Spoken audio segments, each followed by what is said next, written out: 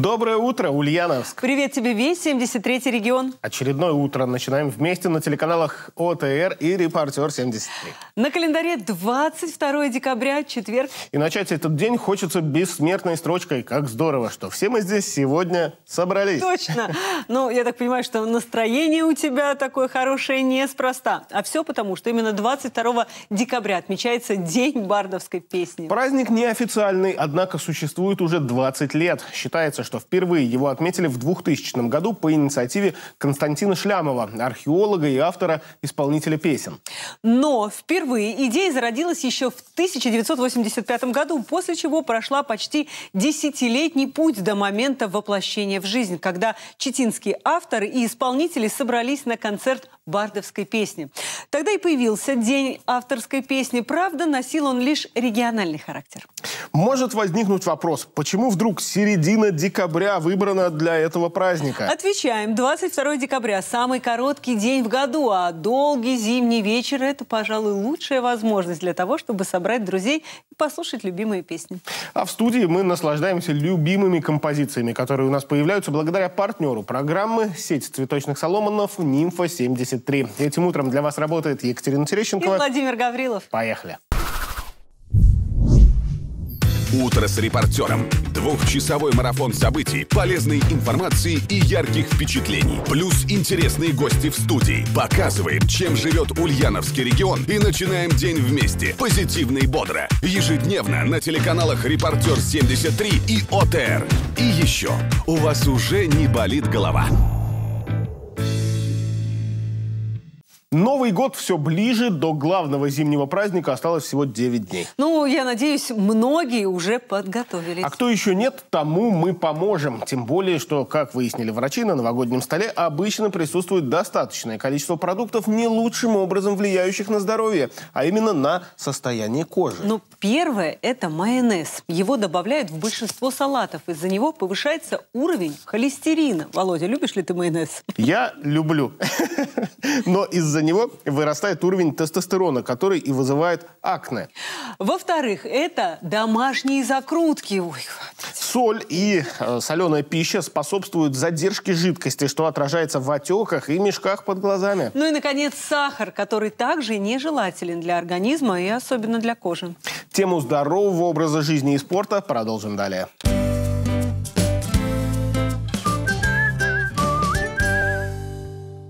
Доброе утро! И сегодня мы с вами спустились вниз на коврик, потому что будем ложиться, чтобы выполнять упражнения для нашего живота. Ложимся на спину. Поднимаем ноги 90 градусов. Пятки вытягиваем наверх. Икроножные мышцы к пяткам, колени подтянуты, бедра активны. Руки за головой. Когда мы будем делать вдох, мы лежим внизу. Спина касается пола, особенно поясница. На выдохе мы будем подниматься и тянуться одной рукой наверх. На вдохе ложиться вниз. На выдохе меняем руку. Вдох внизу, выдох наверху. Важно, чтобы ноги все время тянулись наверх. Давайте начинать. Вдох. Надули живот. Сдуваем. Вдох, опустились. Сдуваем. Надуть живот. Сдуваем. Вдох. Сдуваем. Сдуваем. Сдуваем.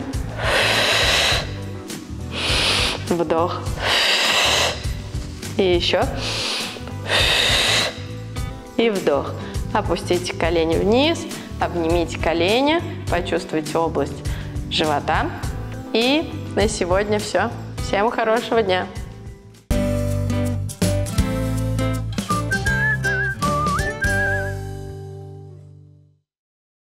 В Ульяновском селе Арское завершаются работы по укреплению оползневого склона. По словам подрядчиков, для отвода воды в основании склона по технологии горизонтально направленного бурения проложили дренажные трубы. Также сделали четыре колодца, обеспечивающие водоотвод в реку Сельдь. Параллельно ведется строительство подпорных стенок. На глубину от 12 до 16 метров погрузили двутавровые балки, между которыми уложили железобетонные шпалы.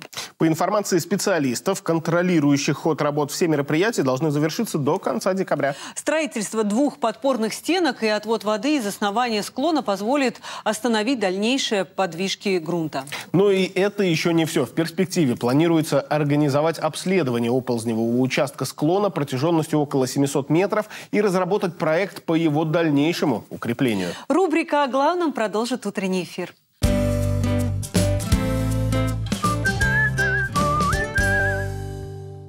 22 июня 1941 Жители Ульяновского округа, небольшого, преимущественно сельскохозяйственного, прильнули к приемникам, внимая голосу председателя Совета народных комиссаров СССР Вячеслава Молотова. Между пожаркой и магазином и площадь была. Народ собрался. Мы туда, пацаны -то. Вот. Оказывается, объявили войну в этот день. Николай Недопекин родился в 1933 году. Его слова о детстве, трудном, полном лишений для наших современников звучат непостижимо. А мы с первой, как говорится, на синокосе работали, в поле работали. В общем, все. Ну, в общем, даже школа не, не в сентябре начиналась, а в октябре. Потому что все мы где-то работали. Как и многие ульяновцы в те годы, после войны он пошел работать на автомобильный завод, основа которого сложилась из нескольких эвакуированных в Ульяновск цехов Московского завода имени Сталина. Самые первые цеха нашего завода, мы тогда назывались не УАЗ, а Ульзис, Ульяновский филиал номер 4 завода имени Сталина. И мы располагались на территории моторного завода. И уже в 1943 году был подписан приказ о начале строительства э, нашего завода на площадке, где вот сейчас мы находимся, это в Засвияжье. Первая продукция завода сходила с конвейеров, установленных почти в чистом поле. Громоздкое оборудование сгружали с поездов и тащили вручную, на волокушах. Первая продукция, которую мы выпустили, это авиационные бронебойные снаряды. И уже в 1942 году мы начали сборку автомобилей ЗИС-5В, автомобиль военного времени. За годы войны автозавод выпустил более 7 тысяч автомобилей ЗИС-5. По каким только фронтам не ездили эти грузовики, перевозя раненых, патроны и волоча прицепом технику. На ней в кузовах ехали дорогами войны и ульяновские бойцы, в том числе из 24-й Самаро-Ульяновской железной дивизии, образованной еще в гражданскую войну. Летом 1941 года железная дивизия сражалась с врагом в Белоруссии. В тяжелейших условиях ее бойцы продолжали атакующие бои вплоть до 29 июня. После этого, находясь в окружении, они пробивались на юго-восток, к частям корпуса. К сожалению, уже перед самым выходом из окружения. Группа бойцов, в том числе в которой был один знаменосец, они вот немножко оторвались от основной группы и на окраине белорусской деревни попали под перекрестный огонь немецкий, и вот э, знаменосец погиб. Но местный житель, крестьянин Дмитрий Тяпин, нашел нашего погибшего бойца, попытался его похоронить, и когда он начал его стаскивать в могилу, случайно задралась гимнастерка и обнажилась вот знамя нашей железной дивизии. В 1944 году приказом заместителя Народного комиссара обороны за спасение боевого знамени крестьянин Дмитрий Тяпин навечно был зачислен в списке одного из полков железной дивизии. Всего же в Великой Отечественной войне приняло участие 236 тысяч наших земляков. 146 из них стали героями Советского Союза, 26 — кавалерами Ордена Славы. Так, в окне сражений и под стук кузнечного молота 19 января 1943 года родилась Ульяновская область. Вячеслав Новожилов, Сергей Рябухин, репортер 73.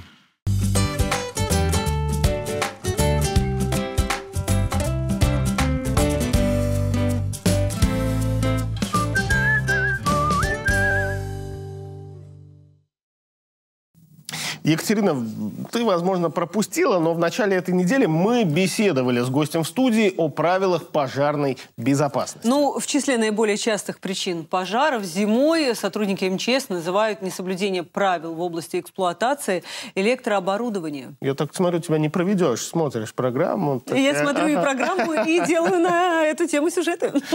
И с этим действительно стоит быть осторожнее, ведь практически каждый хочет украсить свой дом яркими гирляндами. Ну, Но в региональном Роспотребнадзоре напоминают, что бдительность стоит проявить уже на стадии приобретения новогодней атрибутики, чтобы избежать проблем при эксплуатации. Специалисты советуют обратить особое внимание при выборе товара на маркировку, которая чаще всего размещается на упаковке, на этикетке или на листке вкладыша. Соответственно, лучше всего выбирать электрические гирлянды, прошедшие лабораторное тестирование с наличием подробной информации на упаковке. Для украшения гирлянды елки в Роспотребнадзоре не советуют приобретать изделия мощностью более 50 ватт. Также при выборе электрогирлянды стоит учитывать толщину проводов. Слишком тонкие могут порваться или загореться от перенагревания. Для украшения фасада дома и елей нужно использовать только специально предназначенные для работы вне дома гирлянды. Не стоит использовать гирлянду при наличии видимых повреждений и отсутствия лампочек. Крайне опасно оставлять работающие гирлянды без присмотра. Соблюдайте эти нехитрые правила, и ничто не омрачит ваш Новый год.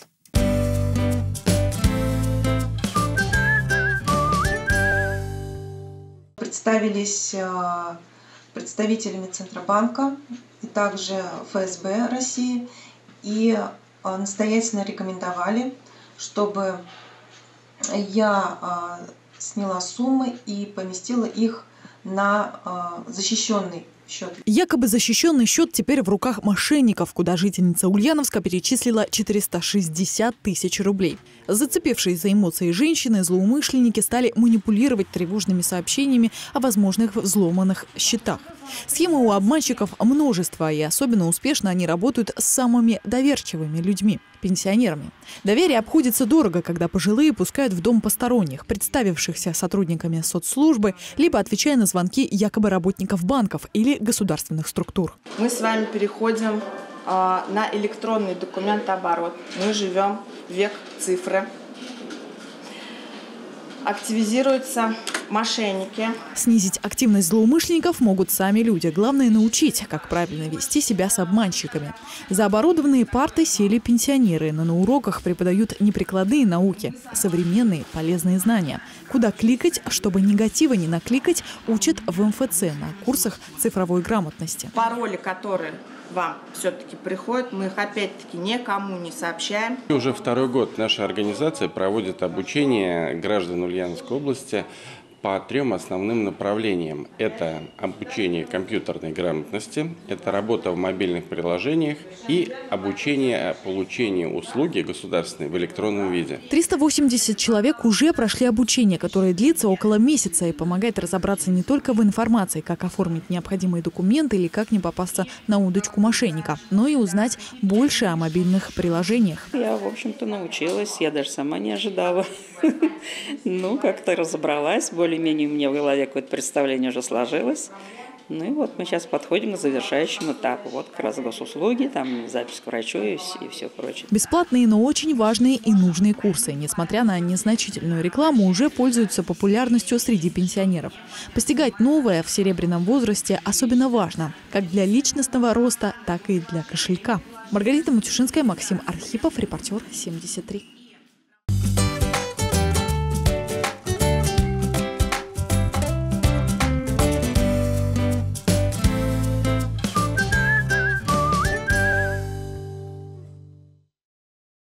Картину дня дополнят региональные новости. В эфире информационная программа «Реальность».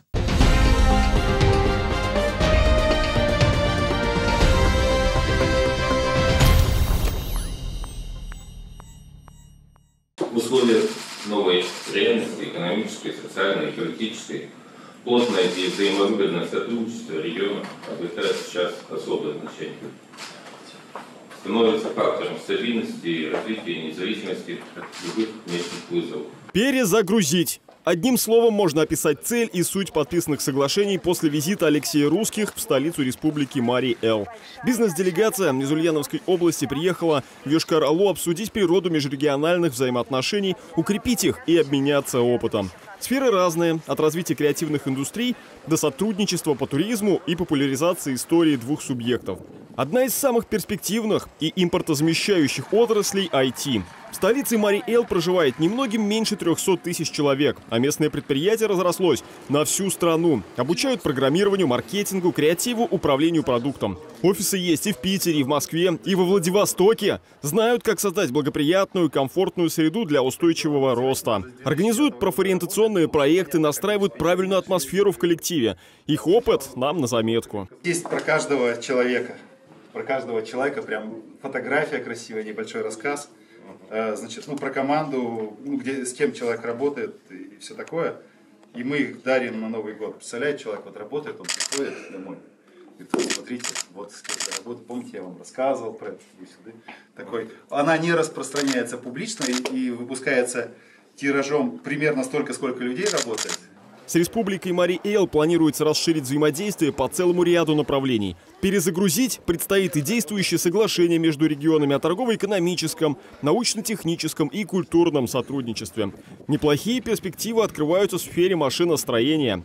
Марийский машиностроительный завод, основанный еще в 1941 году, предприятие уникальное, с богатой историей. Перед тем, как обсудить, что позаимствовать и что предложить взамен, провели целую экскурсию. Это прицел 41 года. И в нем линза, произведенная на нашем предприятии. И даже, э, скажем так, у нас, когда предприятие не, называлось Марийский машиностроительный завод, но э, у нас назывался завод номер 297, там есть маркировка с надписью 297. Поездка продуктивная. Перезагрузка началась. Алексей Русских пригласил представителей Республики Мари-Эл посетить Ульяновскую область с ответной бизнес-миссией.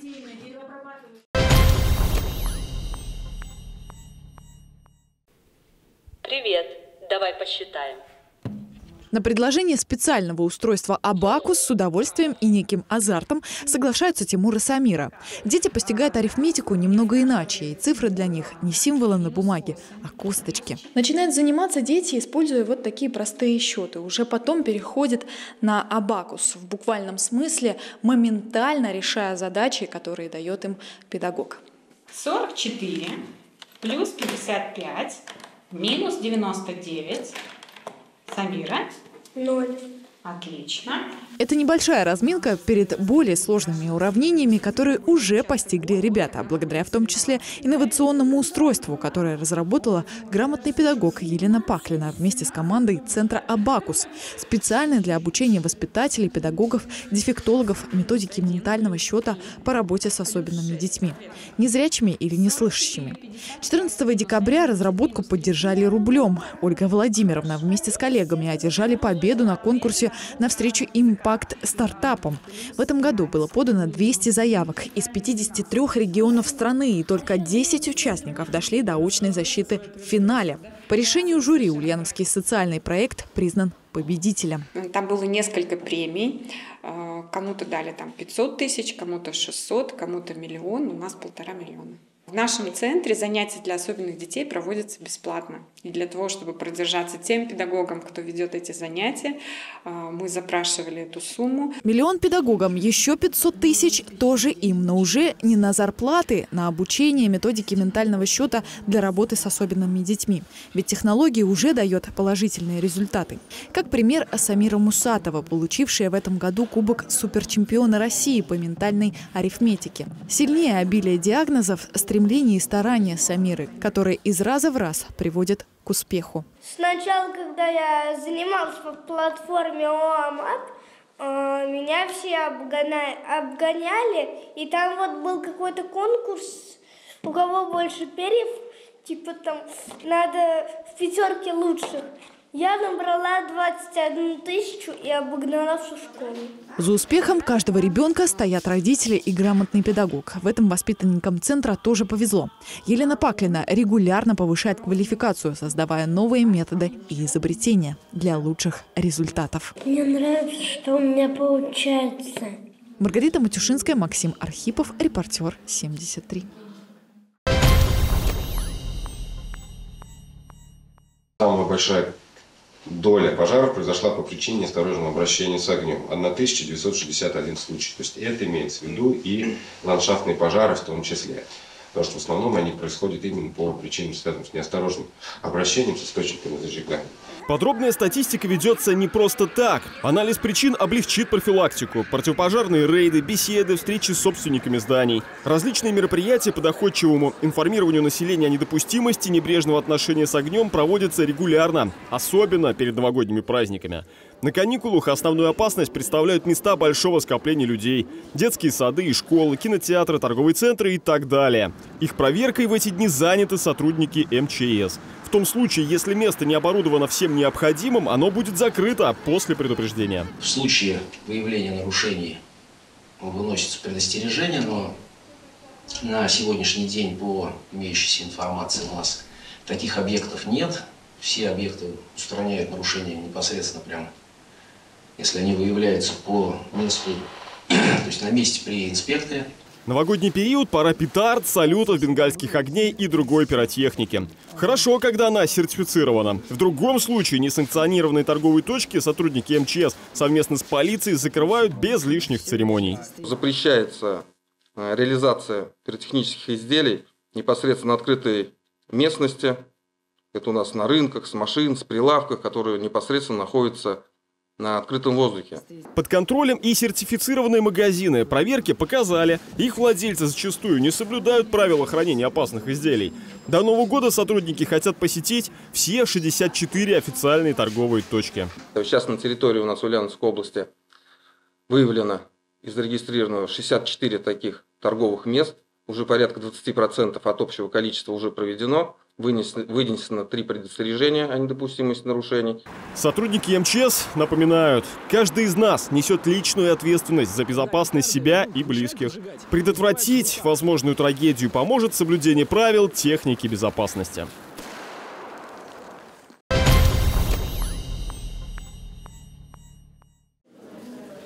22 декабря 1918 года над бывшими землями империи, а после республики, взвилось Красное Знамя. На тысячах флагштоков советского государства оно провисит до 25 декабря 1991 года. Почти 70 лет. В масштабе человеческой истории срок незначительный, однако на этом небольшом отрезке происходили события, определявшие облик не просто страны, но всего мира. Каждая из них на выставке раскроют через одну из 33 букв алфавита. Открывает нашу выставку буква А, и э, на эту букву э, у нас два понятия. Это мирный атом, э, и мы рассказываем о э, первой э, в мире электростанции, атомной электростанции, Обнинской атомной электростанции, открытой в 1954 году, ледоколе Ленине. Впрочем, не одними достижениями. В истории СССР немало темных пятен. Гости мемориальной квартиры познакомятся, либо вспомнят такие явления, как форца, дефицит, а также узнают о борьбе с религией. Иконы бывшие, которые в 30-е годы в условиях борьбы с религией просто уничтожались. Были специальные мастерские, которые из икон изготавливали кормушки, сундуки. Х. Хрущевки. У. Ударник социалистического труда. Промышленно развитая держава умела многое. Бороздить космические просторы, покорять полюса Земли и небо над планетой. Можно себе представить, что каждый третий самолет, который летал в небе над нашей планетой, это был советский самолет.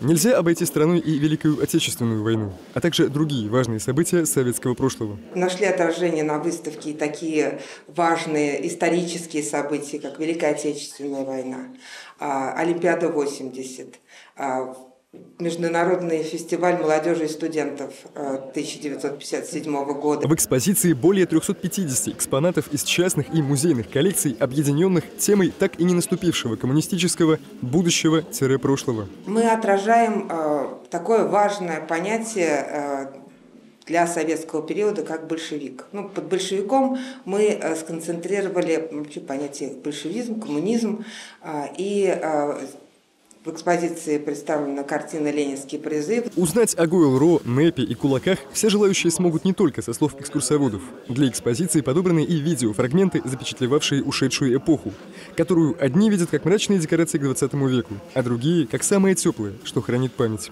Вячеслав Новожилов, Максим Архипов, репортер 73.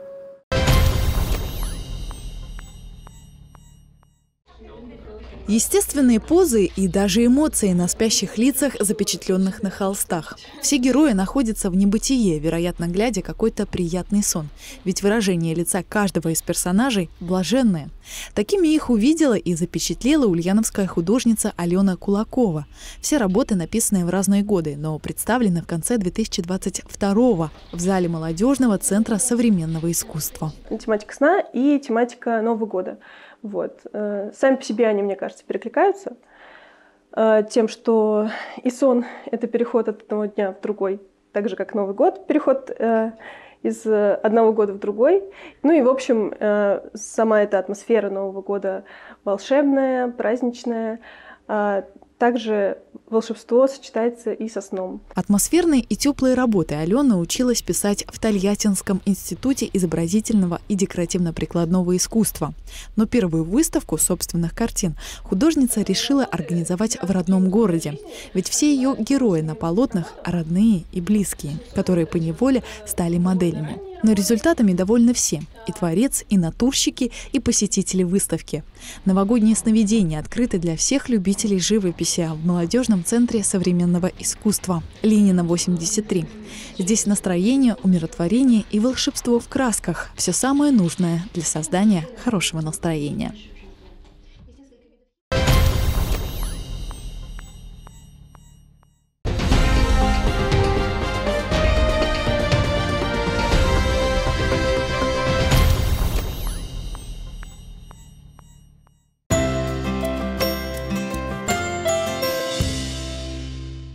Варикозное расширение вен – серьезная угроза здоровью. Только до 31 декабря в медицинском центре «Консилиум» консультация сосудистого хирурга и УЗИ вен нижних конечностей всего за 800 рублей. Не откладывайте визит к специалисту. Медицинский центр «Консилиум». Уважаемые клиенты, поздравляем вас с наступающими праздниками. У вас есть уникальная возможность поучаствовать в акции и выиграть от 2 до 3 тысяч рублей с зачислением на лицевой счет. Для этого на лицевом счете должна отсутствовать задолженность и должен быть внесен рекомендованный платеж за декабрь.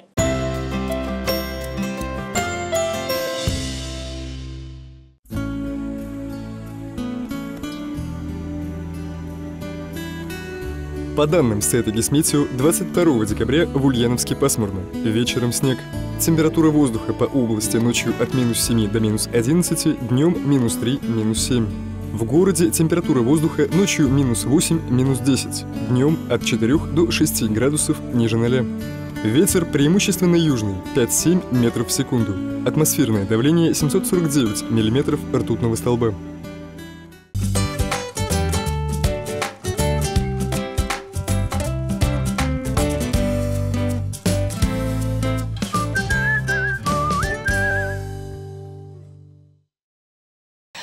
Смотрите «Утро с репортером». В студии для вас работает Екатерина Терещенкова. И Владимир Гаврилов. Мы продолжаем.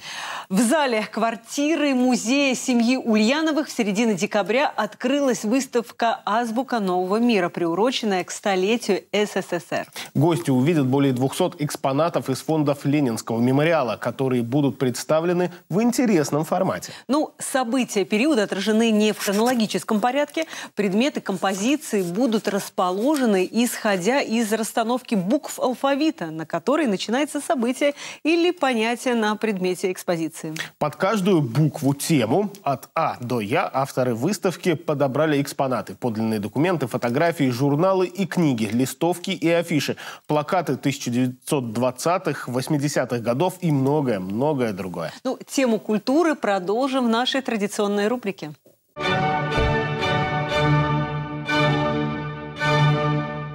Рождественская история об одной беспокойной бабушке, перед праздником поехавшей навестить живущую в Австралии внучку, а вернувшуюся к новогоднему столу с кучей гостей со всей планеты, от Сиднея до Франкфурта.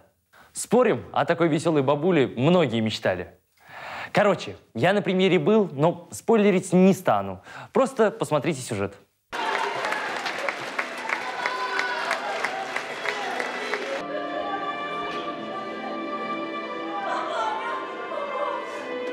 Новый спектакль получился не заумный, но простой.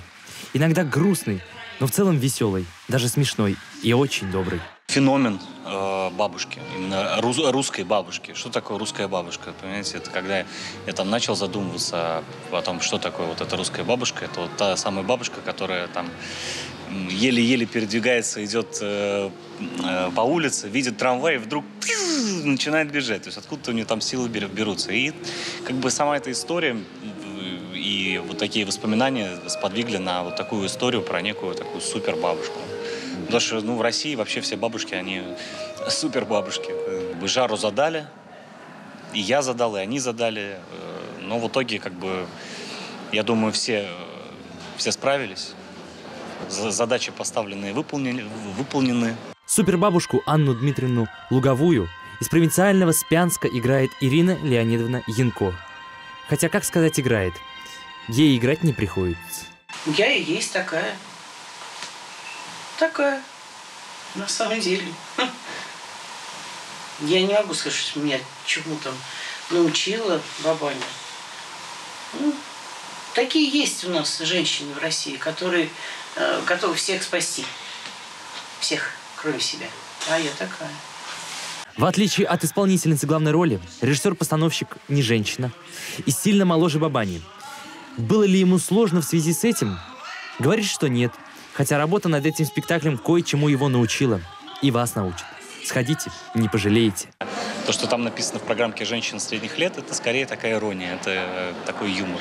Ай, смотрящий да увидит, я думаю так. Потому что, не знаю, когда еще я учился на актерском, э, и у нас был такой раздел наблюдения, я решил сделать наблюдение за своим дедушкой, который к тому времени был уже очень болен. И мне казалось, что э, как бы я смотрел на это как на предмет, ну такой, ну интересно, просто интересно. И когда я, я, скажем так, всмотрелся в эту историю, она мне показалась очень такой болезненной, глубокой, сложной, непростой. Я тогда на дедушку другими глазами посмотрел. Ну и, собственно, сейчас я уже как бы в, в том возрасте, когда я э, могу без вот этого вот, э, скажем так, молодецкого пафоса или молодецкой вот этой вот молодецкого закидательства сказать, что любой человек в любом возрасте, у него есть свои какие-то проблемы, есть свои какие-то боли, есть свои какие-то стремления, желания. И как бы наша задача в театре поговорить и о таком человеке тоже. Тем более, мне кажется, что как бы такие люди сейчас заслуживают особого, особого внимания.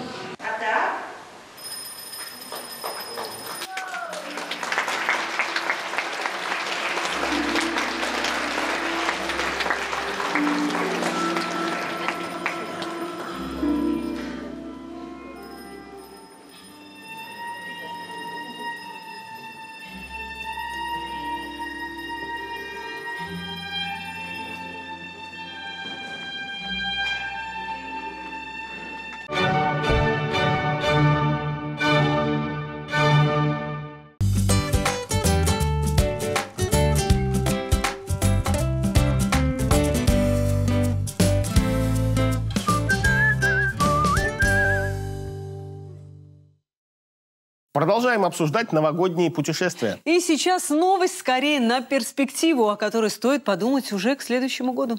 Это еще почему? Мы уже в этом году что-то опоздали сделать. Нет, ничего. Э, ну, в общем, да. Ладно, что я тебя буду успокаивать. Потому что успеть сегодня в Новосибирск, Володя, будет достаточно проблематично. А что там сегодня? А там возможность увидеть сразу всех Дедов Морозов страны. Именно Новосибирск назначен новогодней столицей России. И сегодня там проходит съезд Дедов Морозов. Да уж, пожалуй, действительно успеть не получится, но в планах на следующий год стоит продумать такое окно под интересное мероприятие. Ну а прямо сейчас то, что пропустить практически невозможно. Новогодние секреты в рубрике «Стиль».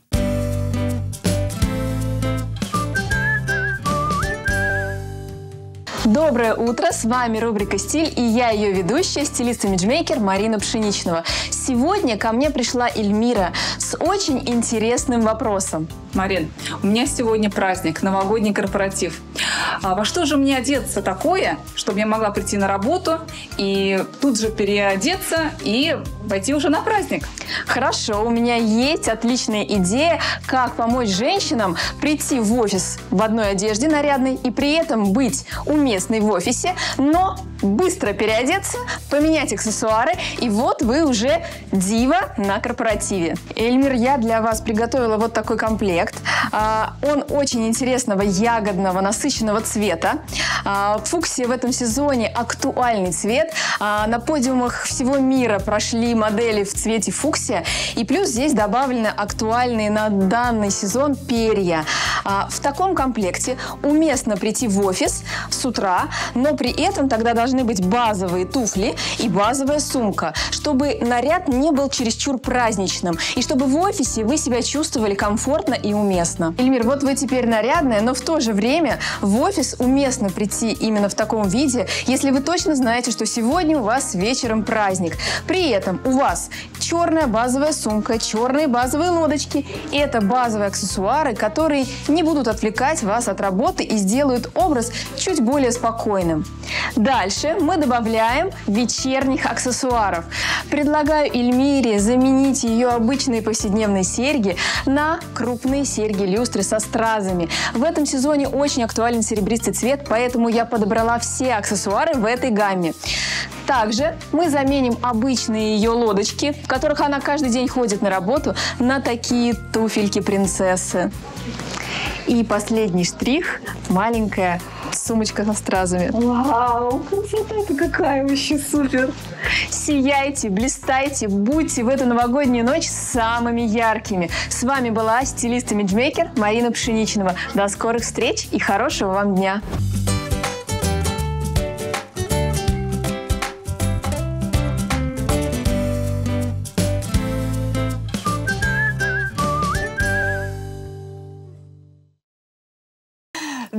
И мы продолжаем, продолжаем этот эфир с нашими гостями. Володя, помнишь из детства? Э, ну, во всяком случае, я точно у бабули перебирала такие открытки с, с поздравлениями с Новым годом. Их отправляли друг другу. У меня такая красивая девочка, пока ты вспоминаешь, была на коньках. Я каждый раз на нее смотрела, а она вот, вот на одной ножке стояла. И вот такими открытками ты ну нет, нет, не там были открытки, открыток было много, но новогодние вот отдельно так не... Не помнишь? Так а еще же были такие вот э, медведь там играл на гитаре. Вот у нас такие вот тоже есть. Не просто так я о них вспомнила. Это совершенно новый 21 век. И самое приятное, что диван Обломова узнаешь. Но Давай по порядку, почему я о них а заговорила? Сама все расскажешь, что гостей-то? Нет. Ну, раз уж ты так э, разогналась, то, пожалуйста. Ну, давайте гостей представим, потому что в студии у нас сегодня Анастасия Кувшинова, организатор фестиваля новогодних подарков и традиций «Гирлянда». И Дмитрий Русин, историк, экскурсовод. Доброе утро. Здравствуйте. Доброе утро. Екатерина, не унять, я понимаю, там эмоции, детство, откуда-то вдруг все вспомнилось, Новый год, одно на другое наслоилось, и понесло.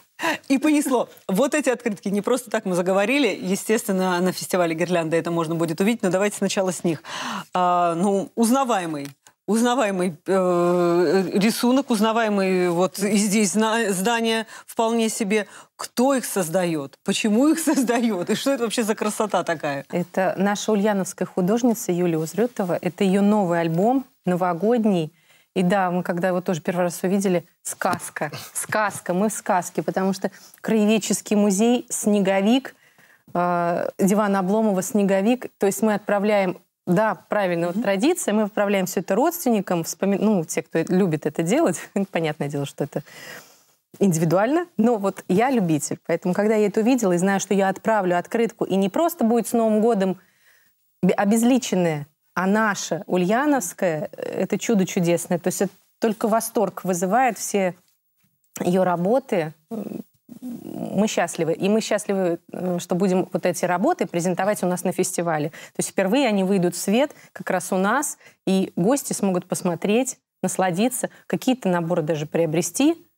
А, ну, самое главное, мы все это увидим, и слава Да, и э, забегу вперед, это можно будет отправить сразу же на фестивале потому что у нас будет пункт почты России. А, То есть все, думал, все сразу. все сразу будет. Но э, гирлянда начинает работать завтра. Что будет еще? Что это вообще за... Это же добрая традиция уже для Ульяновска стала, этот фестиваль. Уже, да, можно сказать, второй год. А, фестиваль подарков и традиций. Соответственно, там будут и подарки, и традиции. А, если мы будем говорить о подарках, то это ручная работа, все, что делают наши ульяновские мастера, мастерицы, ну и не только ульяновские, приезжие у нас тоже будут из разных регионов, Казань, Чебоксары, а, Москва. А, все, что можно подарить на Новый год, на любой вкус, кому что, кому мед, кому, например, украшения. В общем-то, все это можно будет посмотреть, увидеть. А, это что касаемо подарков. А традиции, традиции – это наши елочные украшения, наши, как правильно это называется, подставные фигуры под елки. Да? Это песни и пляски э, и разные э, другие обряды, все, что касается, как мы говорим, всех времен и народов. То есть то, что происходило здесь у нас на Симбирской земле, начиная от дохристианской эпохи и заканчивая советским временем, вот все традиции мы по чуть-чуть затронем, расскажем о них, поучаствуем обязательно все вместе. То есть это не просто мы где-то со сцены, а здесь в зале, внутри, причем с привлечением тех, кто находится. Ну это какие-то интерактивы, да? Что это да. будет предполагается? Да. Что да. это будет? Это, а, ну да, вы правильно назвали mm. слово, это интерактив. А, то есть но артист выступает не просто через барьер сцены, а он в зале, и он приглашает, mm-hmm. то есть, например, даже обучение танцам 19 века, пожалуйста, обучение русским народным танцам. Те, которые танцевались на балах, соответственно, к Новому году имеют отношение. Либо, а, если мы не попадали на бал, мы же разные могли быть, да, наши предки, а, у себя в деревне, как отмечалось Рождество, как оно проходило, вот это все будет. И что еще будет? Дмитрий здесь не случайно. Да, да, Дмитрий. Дмитрий здесь не случайно. Мы все помним, что в следующем году Ульяновску юбилейная дата. Конечно, мы не могли пройти мимо. И как совместить юбилей Ульяновска и Новый год? Вот я задам такой вопрос. Есть ли у вас мысли? Ну, как-то... Украсить город, первое, не знаю. Испечь э, какого-нибудь э, вкусного колобка. Ну, это уж так. Вот что первое приходит на ум. Мы двигались примерно в вашем направлении, и поэтому мы сделали огромный пряничный Кремль. Причем мы не просто его э, делали, а мы обратились к изысканиям историков, к архивам, спрашивали советы умных людей – и в итоге получился большой пряничный Кремль, который можно будет увидеть ну, степень его достоверности, я думаю, Дмитрий расскажет. Ну, да, сразу хочется да, уточнить вот, вот этот вот момент. Это больше кулинарное произведение искусства или все-таки архитектурная ну, точность? Вот дело в том, что город наш, наш начинался непосредственно с постройки этого Кремля, и Кремль, можно сказать, такое э, центрообразующее явление было в появлении нашего города. И, к сожалению, его сейчас не существует, он прекратил свое существование еще во второй половине XVIII века, но хотелось бы его увидеть визуально. Построить, восстановить его сейчас возможности такой нету в той форме, в которой он был. Но вот в пряничной форме, в миниатюрной форме удалось э, организаторам создать, и я думаю, это будет э, интересно интересно зрителям, тем более, что мы еще и записали аудиогид. То есть mm-hmm. можно будет познакомиться с этим э, Кремлем пряничным mm-hmm. в историческом аспекте непосредственно на фестивале. Но он так вот э, похож или да. Да. да. да. Ну что там такого вот такого особенного в нем? Ну, э, все, что мы имеем из э, документов, угу. которые до нас дошли, э, то мы там и отразили. Гравюры самые первые, если мне память не изменяет, поправьте да, меня, да. по-моему, 50 лет спустя строительства, это первое изображение города, смотрели на нее, вдохновлялись, сделали а, смотрели русское зодчество того же периода в других местах, потому что ну, что-то, скорее всего, могло быть заимствовано, потому что на гравюре не все здания отображены, то есть там вид с Волги mm-hmm. на утесе. Вот. Ну, то есть вот такой вот Кремль. Вы даже пытались разукрасить его, Конечно. да? Если говорить изотчество, то, наверное, повторить вот, вот эти вот... Да, в росписи, в росписи. это все можно сделать. Ну, а размер? Метр на метр. О, Ух ты. какой мощный пряник получается. Но... Это не пряник, это же даже фигура, то ну есть ну, да, это да, да, да, город. Да, да. Он не плоский. Не, я понял. Да. Просто, может быть, раз уж это у нас фестиваль э, подарков и традиций, может быть, это будет э, превратиться в такую традицию, вот этот Кремль э, выпекать. Вы знаете, он... Или это очень сложно? Кто работал? Да, сколько... По порядку, пожалуй, если можно. А что касаемо традиций, мастерицы сейчас загорелись а может быть, может быть, да, может быть, продолжить это в традицию. Есть некоторые мысли. Возможно, мы сделаем вот эту пряничную тему ежегодной, и просится это прям. А кто это делал? Я вам скажу, это коллектив достаточно большой.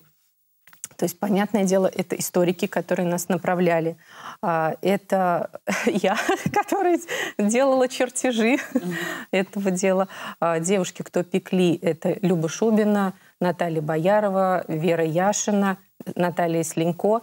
На сборке Анна Азикова, Александра Желтышева. То есть коллектив, как вы видите, в одиночку такое не осилить. Это, это большой коллектив. Мы всех обязательно поименно можно будет представить, познакомиться на самом фестивале.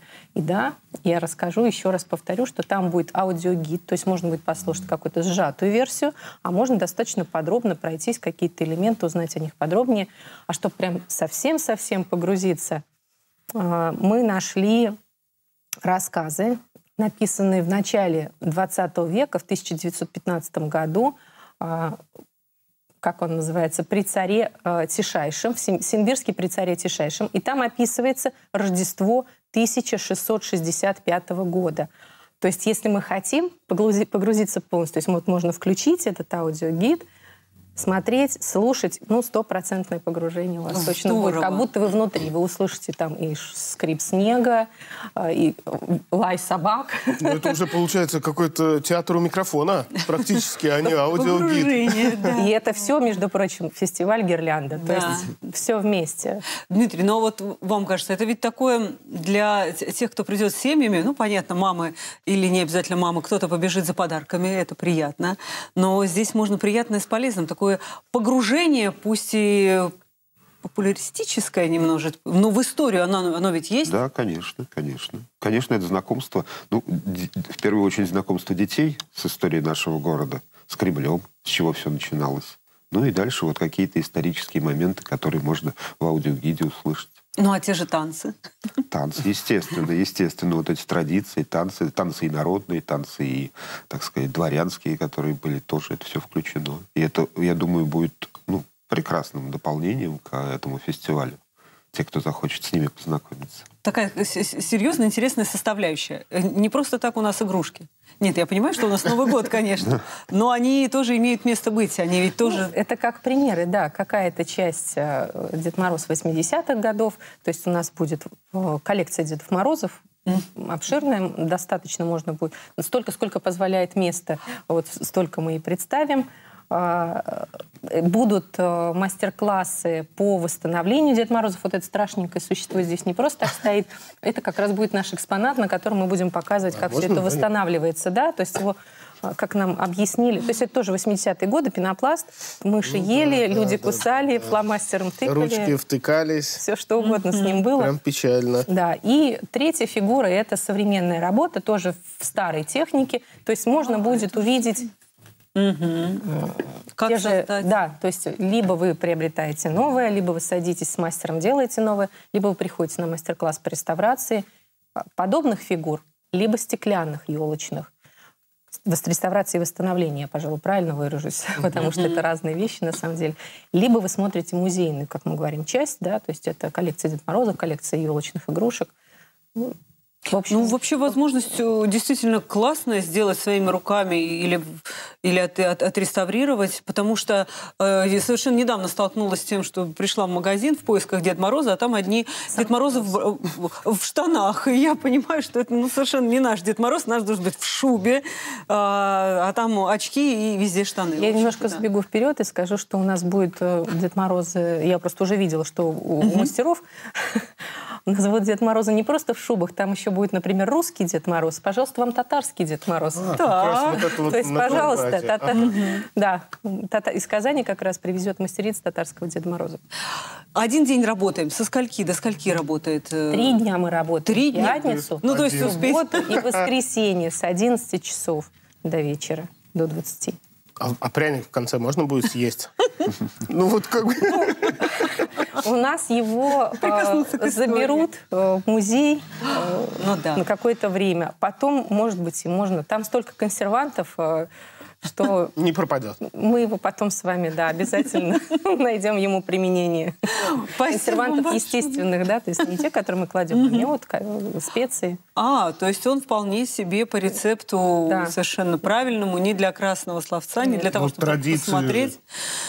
Ой, ну Поэтому- это еще интереснее. Главное, чтобы никто из тех... Он огорожен, я надеюсь. Никто не облизал. Он в витрине будет стоять. Потому что, ну, я представляю, дети увидели, он же, скорее всего, еще аромат от него невероятный, да?